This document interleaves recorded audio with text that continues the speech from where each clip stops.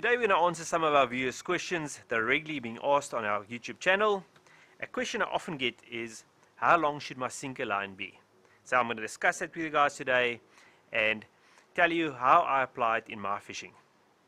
Alright, so obviously when we fish we've got different traces for different species and different conditions. And that makes it a bit complicated when it comes to sinker lengths. So what I'll do, I'll keep it as simple as possible um, and try not confuse you with the small technicalities of sinker lengths and hopefully it'll make sense to you after this video. Alright, so I'm going to start off with our little scratching trace, which we call a scratching trace. It's a trace that we use for targeting smaller fish in the reefs, like bronze bream or uh, most of the reef species when we fish in rougher water on the reef. Now, for me, the first fundamental about a, a sinker line is that, move that out of the way, is that I prefer my sinker line to be longer than my, my hook trace. So as you can see there, my sinker line is a bit longer than my hook trace.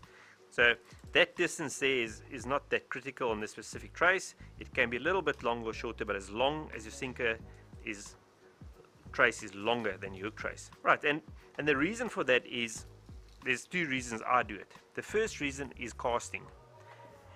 If you want to throw a long cast and your sinker line is shorter than your hook trace, your the flight of your bait in the sinker through the air is not nice and even. Often it sort of starts flying unevenly and you lose a lot of distance. So just by making your sinker line a bit longer than your hook line, it evens out the balance in your trace. The sinker will fly first, obviously because it's the longest, and your hook line will be behind, and you'll get a nice straight arc when you cast, and you'll get more distance.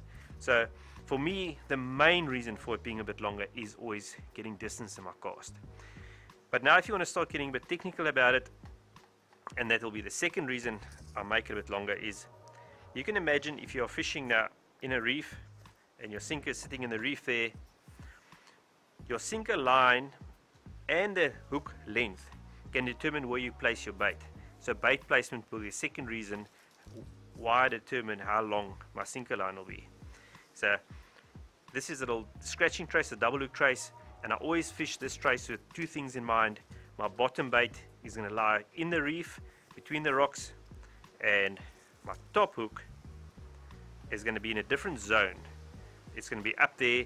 I'm standing fishing with a 15 foot rod, so I've got an arc going down with a braid, it's direct.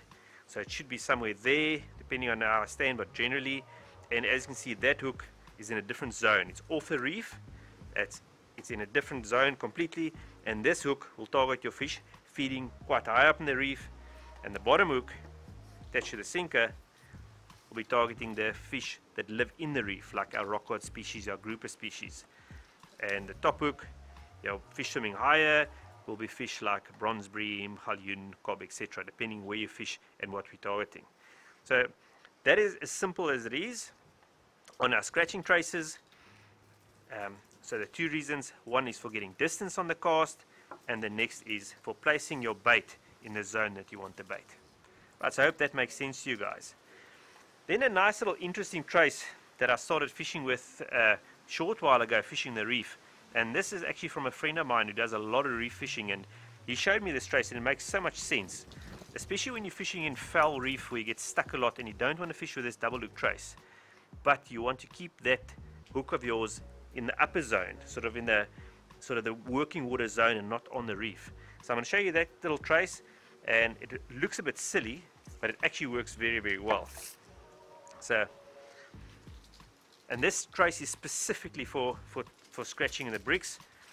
Um, and as you can see here, I've got a very long sinker line and in a single hook and I'll adapt this sinker line to the depth that I actually want my bait to be. So if you can imagine you're standing with your rod attached there and you've got that height so you've got the short little hook snood and trace here with extremely long sinker line. And I say I'll determine the length of this line on how deep I want my bait to sit. So obviously if I want my bait to sit a bit higher, I'll make this longer. And if I want the bait to sit lower in the water, I'll shorten the sinker line. And as you can see, the hook is closer to the reef itself. So it's a very effective way of fishing. The only disadvantage about this is that if you hook a fish here, you've got this long sinker line dragging behind you when you're fighting a fish. So it could be a bit of a difficult one, but this is a very specific way of fishing, and that's when you want to change or determine the height of your bait in the zone. Alright, so that sort of just explains to you the thinking about behind the sinker line length. The shorter you'll make it, the closer it'll be to the bottom, the longer you'll make it, the higher it'll lift off, and you'll get your hook in a different zone.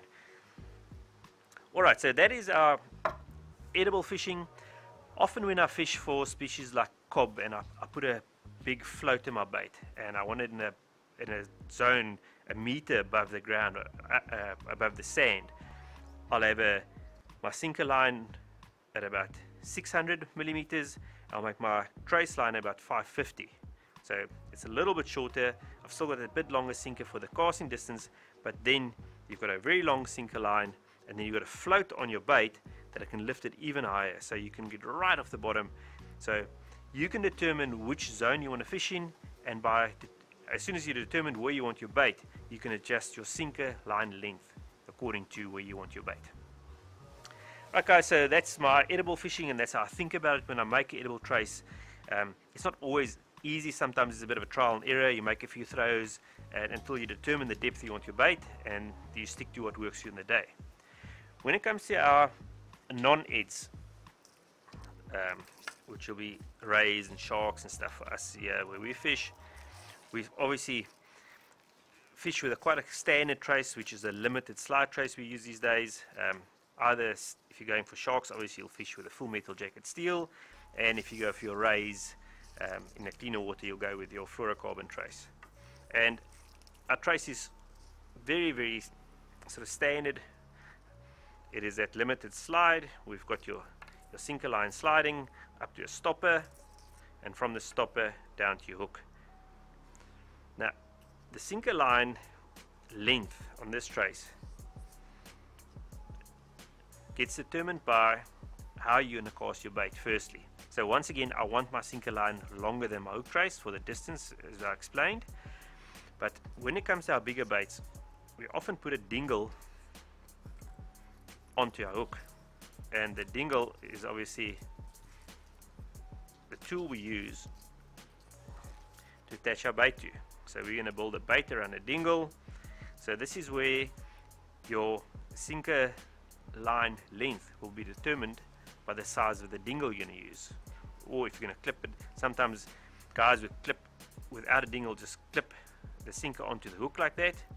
But with us using a dingle, that's going to determine your sinker line length, which is quite logic. So, but the last thing you want to do is make your sinker line exactly as long as your dingle.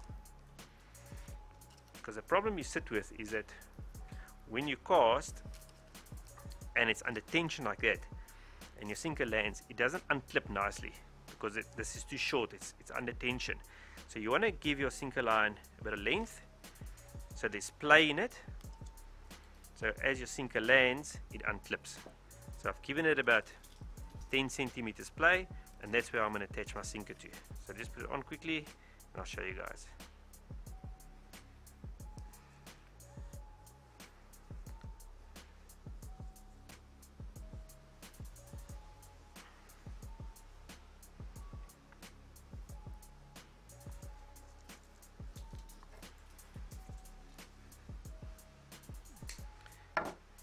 All right.